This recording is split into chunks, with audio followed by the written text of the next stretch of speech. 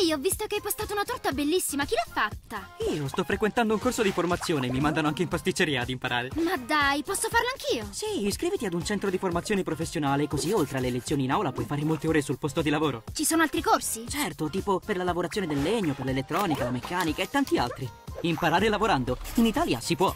Info su sistemaduale.lavoro.gov.it. Te lo consiglio.